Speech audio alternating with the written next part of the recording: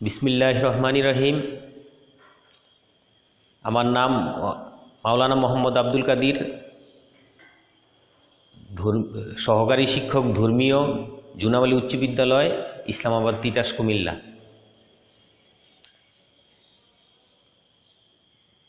ছাত্রছাত্রীরা কেমন আছো? ক্লাস সিক্সের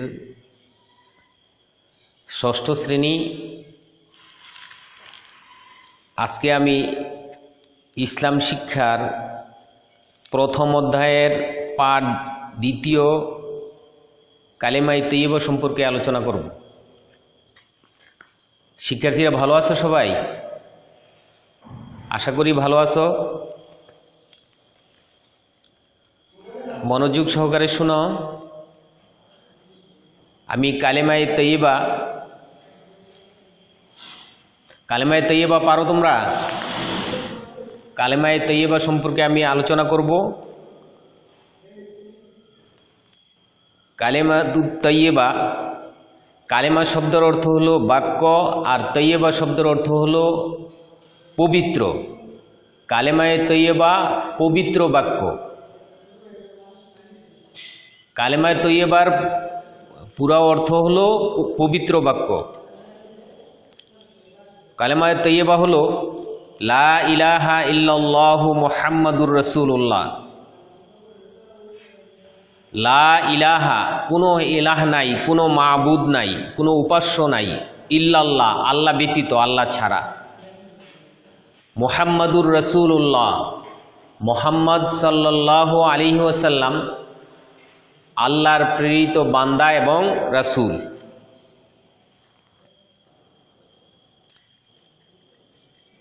কালেমায় তৈয়বার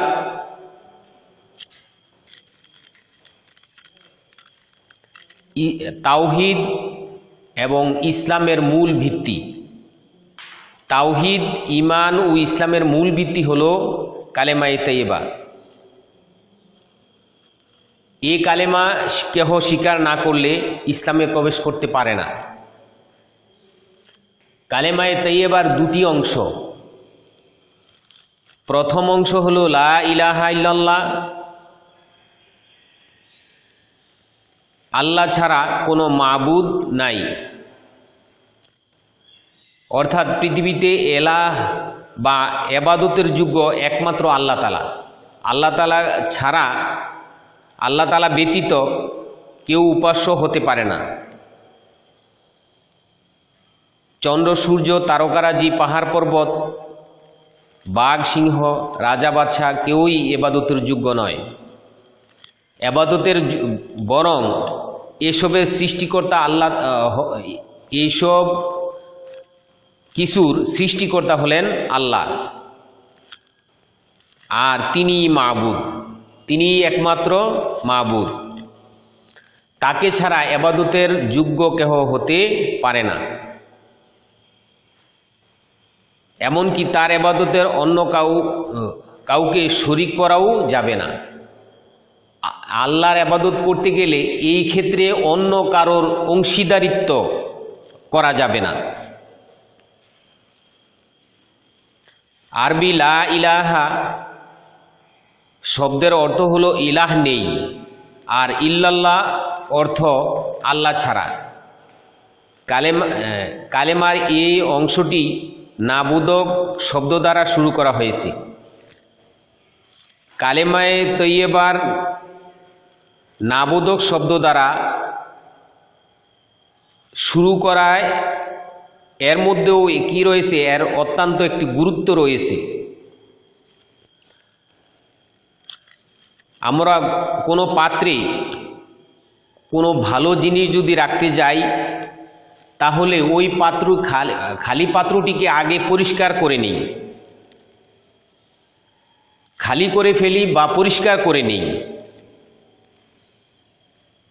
যেন যে জিনিসটা রাখব, ওই জিনিসটা যেন ভালো থাকে এবং ঠিক থাকে। এবং এই জিনিসটার সাথে অন্য কিছু যাতে মিশ্রিত না হয়। একটা উদাহরণ দিলে তোমরা বুঝতে পারবে, যেমন একটি গ্লাসে পানি রয়েছে। তুমি যদি ওই গ্লাসে দুধ নিতে চাও, তাহলে কি করবে? প্রথমে গ্লাসের পানিটুকু ফেলে দিবে। তাই না?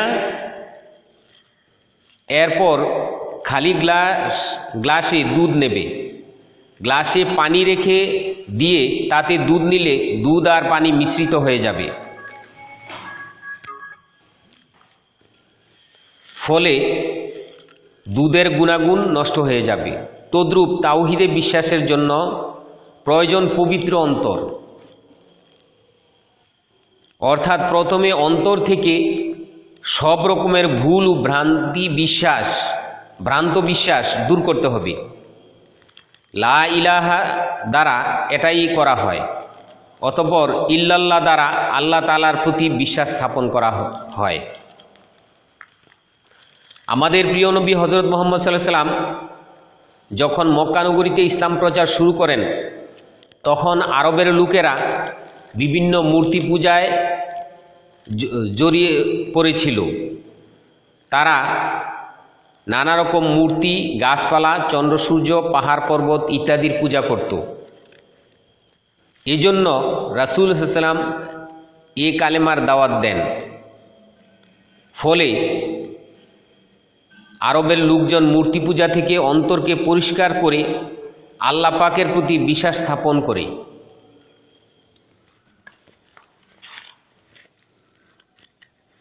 দ্বিতীয় অংশ মোহাম্মদুর রসুল্লাহ মোহাম্মদ সাল্লাহ সাল্লাম আল্লাহর রাসুল, অর্থাৎ মোহাম্মদ সাল্লাহ সাল্লাম আল্লাহ তালার প্রেরিত নবী ও রাসুল। এ কথার উপর বিশ্বাস স্থাপন ইমানের অংশ। কালেমাই তাইবার প্রথম অংশে প্রতি বিশ্বাস স্থাপন করা যেমন জরুরি, দ্বিতীয় অংশের প্রতি ইমান আনাও তেমনিভাবে আবশ্যক। আল্লাহর একত্ববাদে বিশ্বাসের পাশাপাশি মহানবী হজরত মোহাম্মদ সাল্লাহ ইসলামের প্রতিও বিশ্বাস স্থাপন করতে হবে। কেননা তার মাধ্যমেই আমরা আল্লাহ তাল, আল্লাহ পাকের পরিচয় লাভ করি। তিনি আমাদের নিকট আল্লাহ তালার বাণী পৌঁছিয়ে দিয়েছেন। ভালো মন্দ, সত্য মিথ্যা ইত্যাদি তিনিই আমাদের শিক্ষা দিয়েছেন। আর এসব নিজ থেকে শিক্ষা দেননি। মহান আল্লাহ আল্লাহ নির্দেশেই শিক্ষা দিয়েছেন। সুতরাং আমরা বিশ্বাস করব যে হজরত মোহাম্মদ সাল্লাহ সাল্লাম আল্লাহর মনোনীত বান্দা। তিনি নবী উ রাসুল। তিনি যে বাণী নিয়ে এসেছেন, তা আল্লাহ তালার পক্ষ থেকে অবতীর্ণ। যাতে রয়েছে মানুষের জীবন পরিচালনার যথার্থ বিধিবিধান। তাহলে আমরা বুঝতে পারলাম, কালেমায় তাইয়েবা হলো ইমানের মূল ভিত্তি। আমরা শুদ্ধভাবে এই কালেমা পড়ব এর অর্থ বুঝে আন্তরিকভাবে বিশ্বাস করব এবং এর মর্মা অনুসারে সকল কাজ পরিচালনা করব।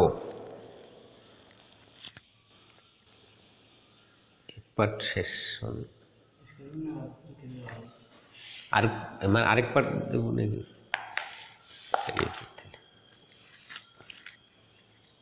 এখন আমরা আলোচনা করব কালেমায়ে তাই শাহাদত সম্পর্কে। কালেমায় শাহাদত, আশাহাদু আল্লাহ ইলাহা ইল্লাল্লাহু ওয়াহদাহু লা শারিকা লাহু ওয়া আশাহাদু আন্না মোহাম্মাদান আব্দুহু আর রাসূলু। আমি সাক্ষ্য দিচ্ছি, আল্লাহ ব্যতীত কোনো মাহবুদ নাই, আল্লাহ ছাড়া কোনো মাহবুদ নাই, ওয়াহদাহু তিনি একক, লা শারিকালাহু তার কোনো অংশীদার নাই। ওয়া আশাহাদু আন্না এবং আমি আরও সাক্ষ্য দিচ্ছি যে মোহাম্মদ সাল্লাহ আলি সাল্লাম আব্দুহু আর রাসুলহু। আব্দুহু, তিনি আল্লাহর বান্দা ওয়া রাসুলহু এবং তার রাসুল।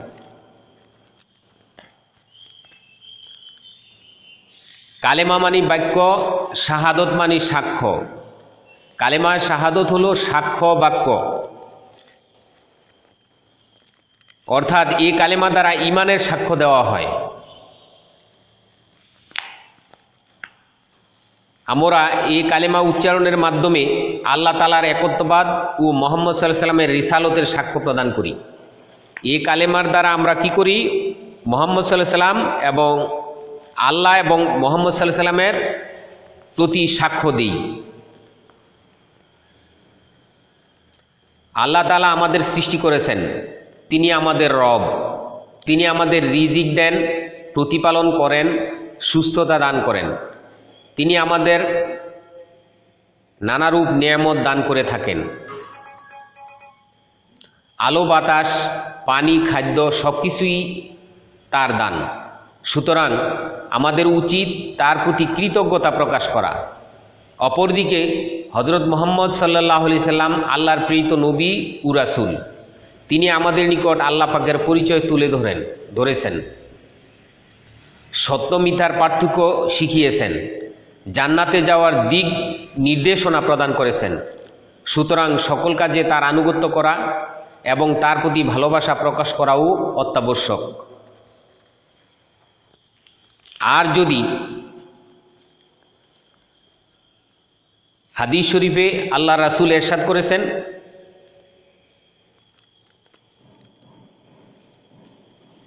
যে মোহাম্মদ সাল্লাহ আলি সাল্লামকে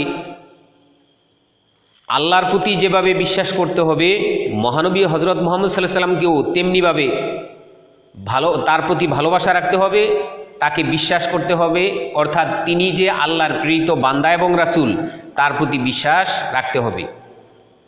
কালেমা শাহাদতের মাধ্যমে আমরা এই দুটো কাজই করতে পারি। তাছাড়াও মহান আল্লাহর প্রতি কৃতজ্ঞতা প্রকাশ ও হজরত মোহাম্মদ সাল্লা ইসলামের প্রতি আমাদের বিশ্বাসের প্রমাণ দিতে পারি। কালেমায় শাহাদতের ন্যায় কালেমায় তাইয়েবার ন্যায়, কালেমায় শাহাদতেও দুটি অংশ রয়েছে, দুই ভাগে বিভক্ত। প্রথম অংশ, আশাহাদু আল্লাহ ইলাহা ইল্লাল্লাহু ওয়াহদাহু লা শারিকা লাহু। আমি সাক্ষ্য দিচ্ছি যে আল্লাহ ছাড়া কোনো মাবুদ নাই, তিনি একক এবং তার কোনো অংশীদার নাই, তার কোনো শরিক নাই। এ কথা দ্বারা তাওহিদ বা একত্ববাদের সাক্ষ্য দেওয়া হয়। আল্লাহ যে এক, এ কথার সাক্ষ্য দেওয়া হয় কালেমা শাহাদতের প্রথম অংশের মাধ্যমে।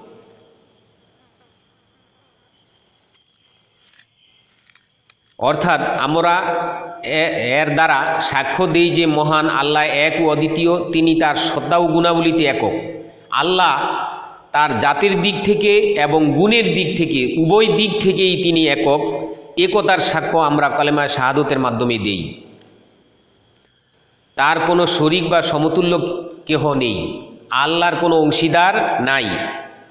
আবাদতের ক্ষেত্রে আমরা কাউকে তার শরিক করি না। আবার আমরা যখন এবাদ যে আবাদত উপাসনাগুলো করি, এগুলা একমাত্র আল্লাহর জন্যই করি, আর এই আবাদতের মধ্যে অন্য কারোর অংশীদারিত্ব আমরা করি না। দ্বিতীয় অংশ, ওয়া আশাহাদু আন্না মোহাম্মাদান আব্দুহু ওয়া রসুলু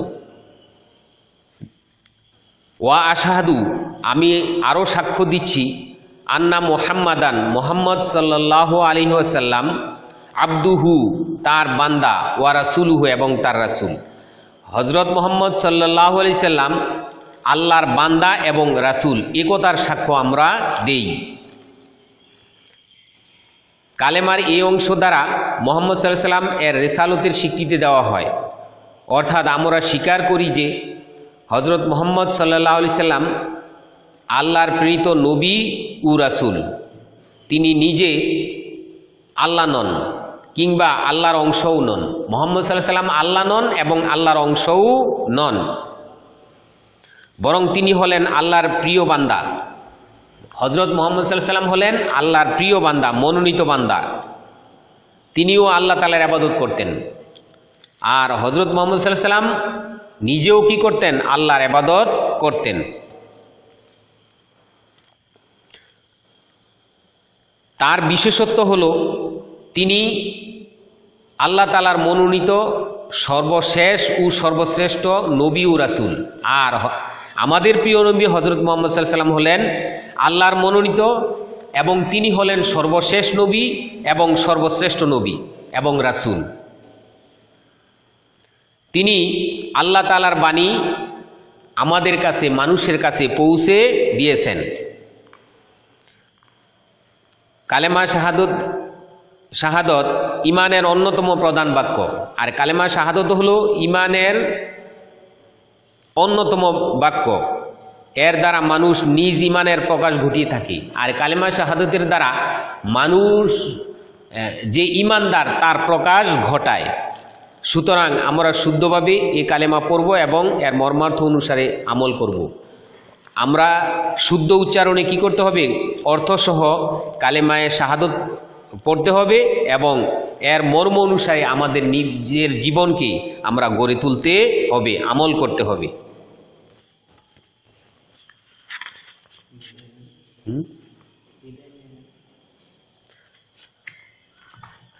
আচ্ছা আজকে আমার আলোচনা এতটুকুই।